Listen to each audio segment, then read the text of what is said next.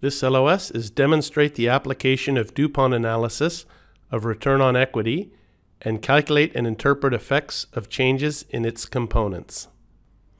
DuPont analysis, the decomposition of ROE. So ROE is return on equity, and the formula for return on equity is net income over equity. Okay? Now, what we're talking about when we're talking about the decomposition of the ROE, we're expanding the formulas. Okay? So the first step that we can do is we can expand the return on equity, net income over equity, to also equal return on assets, ROA, times leverage. Okay, return on assets is net income over total assets, and leverage is total assets over equity. We've seen both those equations in a previous LOS when we looked at the ratios for the first time. So we can see using algebra, if we scratch out the denominator here and the numerator here, we're back to our net income over equity. I've used some color coding. Uh, this is my slides. I developed them in the past for people that don't have a strong background in accounting if you follow the colors, it makes uh, it's easier to understand. Okay, so ROE, net income over equity, is the same as return on assets times leverage.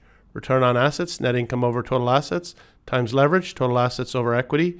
Scratch out the numerator denominator, and you're back to the blue over gold, the net income over equity. Now, the next step in the decomposition of the ROE is I can break down the return on assets even further.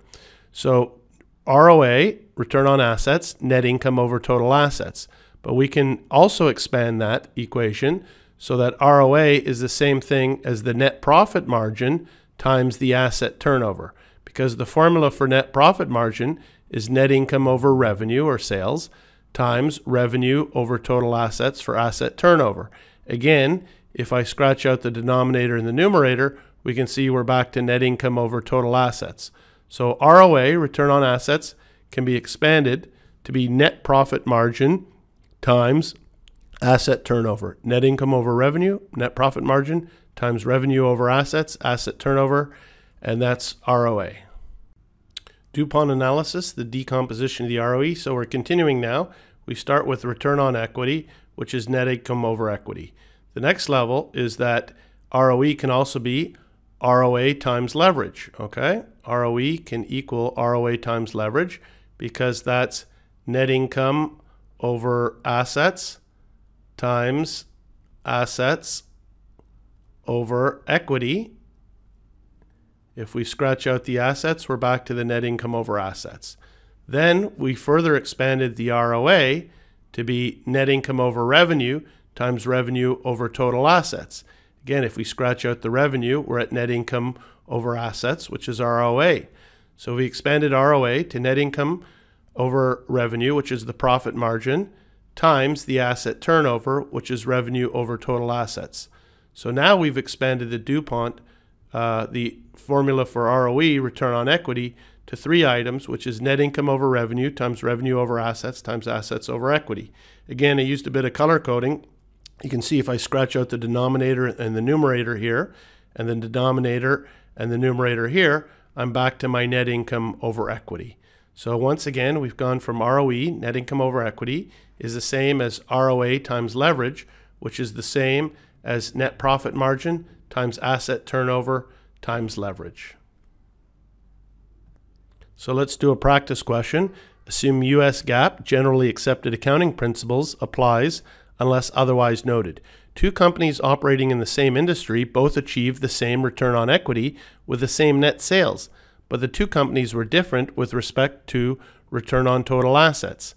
Compared with the company that had the higher return on assets, the company with the lower return on assets most likely had A, a higher total asset turnover, a higher financial leverage multiplier, or a higher proportion of common equity in its capital structure?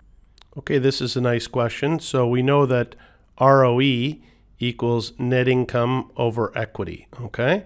But with the DuPont, we can expand that. So ROE also equals the ROA, return on assets, times the leverage, correct?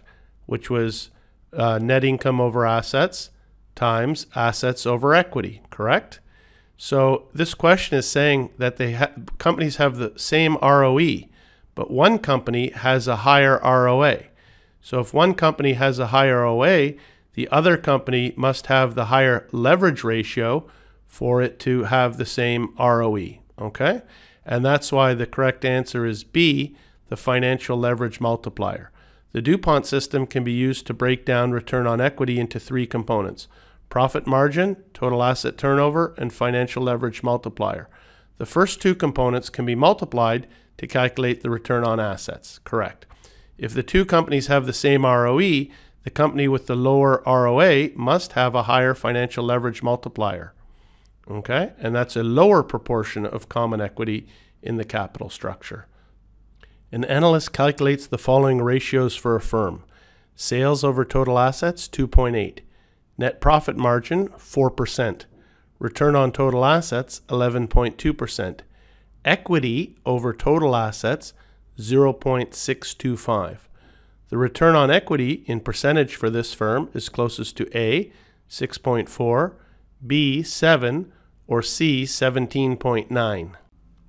Okay, I like this question because they've slipped in a trick here, and it's this last uh, column here. They've given you equity over the total of the assets they've inverted because remember the formula for ROE equals uh, the, using the expanded DuPont net income over sales times sales over assets. That's why it's important. Write these things out. You know, times assets over equity. So you can see quite clearly we've got net income over sales. That's the profit margin. We do 4. We don't do 0.04 times uh, 2.8 sales over assets we've got, but the assets over equity, they've inverted it. They've given us equity over total assets. So we have to do 1 divided by 0.0625, okay? So when you multiply 4 times 2.8 times 1 over 0.65, we get 17.9. We get the correct answer is C, okay? Uh, it says alternatively, ROE is the ROA times the assets over equity. They've given us here ROA times leverage, right? ROA times leverage. We could have done it more quickly. It's the 11.2 times, again, it's got to be the 1 over uh, 625.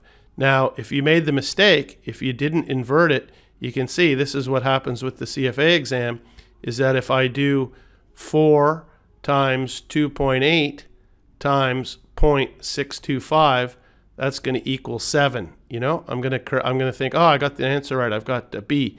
But if you don't slow down and pay very careful attention uh, to the information that they're giving you in the question, that's the exact kind of mistakes that can be made again and again. You have to be laser-like precision in your reading of the questions and pick up these types of little tricks that they can uh, they can give you. So that's why I like this question. This is an excellent one because you always have to pay very close and good attention to reading the question. Another practice question. The following information in US dollar millions for two companies operating in the same industry during the same time period is available. So we've got net sales, total assets, total liabilities. Company A, net sales 120 million, total assets 70, total liabilities 25. Company B, net sales 300 million, total assets 140, total liabilities 40. If both companies achieve a return on equity of 15% for the period, which of the following statements is most likely correct? Compared to company B, company A has A, higher net profit margin, B, higher total asset turnover, or C, lower financial leverage multiplier. Okay, this is another good question because it forces you to think through a little bit of a problem fairly quickly. So first of all, uh, the ROE is the same, 15%, but you need to compare company A versus company B.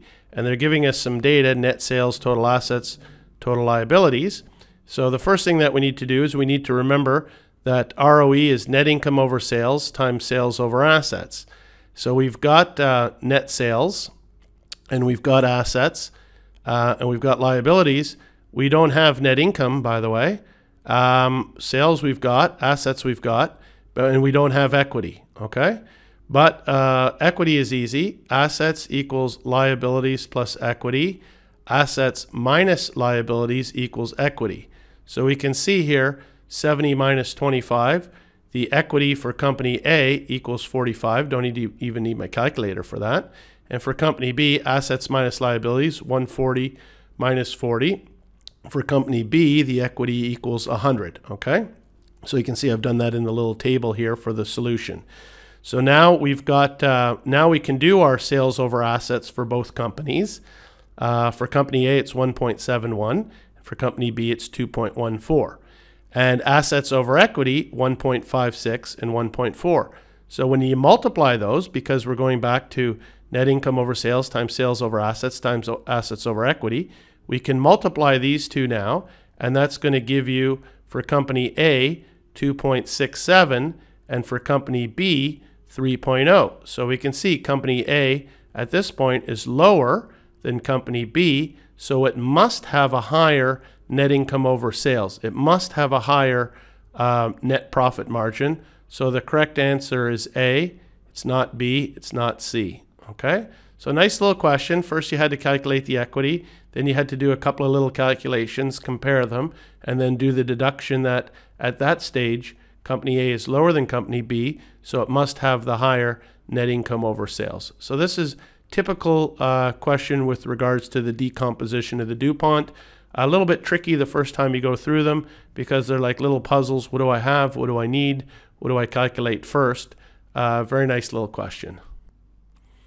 Okay, the decomposition of the ROE, we can take it even to another level because net income over revenue can be further uh, decomposed to EBIT over revenue, which is the EBIT margin, times earnings before tax over EBIT, which is the interest burden, times net income over earnings per, uh, before tax, which is the tax burden. Okay, so um, we can see if we scratch this out, EBT and uh, EBT here, and um, our EBIT here, we're back to our net income over our revenue. Okay, so that's a further decomposition of the net profit margin. We I haven't seen too many calculations bringing it down to this uh, next level. So that's more of a nice to know, maybe not a need to know, but I do believe you should be aware of that.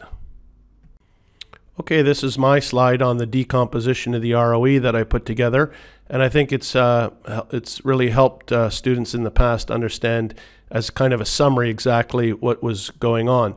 So we started with our ROE, return on equity, which was of course our net income over sales. Okay, and uh, then we uh, decomposed it to the next level. It's the same as return on assets times financial leverage because that was net income over assets times assets over equity. Okay? So as we scratched out the assets, we were back to our net income over equity. So return on equity at the first level decomposition was ROA times leverage. And again, I used some color coding here on the arrows. You can see that financial leverage, assets over equity, flows through at every level. And that's why back on the LOS, looking at financial ratios for the first time, I said that financial leverage ratio is a pretty important one. We see it uh, in the DuPont. Then the ROA, the return on assets, we can further decompose that to net profit margin times uh, asset uh, turnover, net income over uh, sales times sales over assets times assets over equity. And that was the level that we is most common that we see uh, questions on the CFA test, practice questions, etc. But then, just kind of as an FYI, again using the color coding, uh, total asset turnover doesn't change and the financial leverage doesn't change at that final level. But we can break down the net profit margin to uh, the operating EBIT profit margin times the interest burden times the tax burden. Now, again, I haven't seen too many questions based on that, but it's uh, good to know that that's the total decomposition for ROE, starting with one formula down here to the bottom of the pyramid where we've got uh, five ratios that make up uh, the calculation for ROE. So the final slide for this uh, LOS is again just the decomposition of the ROE. The bottom row of that pyramid was the EBIT margin times the interest burden times the tax burden times asset turnover and leverage. As I said, those two uh, didn't change uh, from the from the row above we broke down the um, uh, net income over sales to equal uh, these three formulas. And the only last thing here is that the tax burden is 1 minus the effective tax rate, okay? Net income equals earnings before tax times 1 minus the tax rate. And here I put down just a little example to show you that if earnings before tax is 100, tax is 25, net income is uh, 75, we have a 25% tax rate. So net income over EBT, 75%, 1 minus the tax rate equals um, 75%. Okay? And that's the last slide for this LOS. Thank you.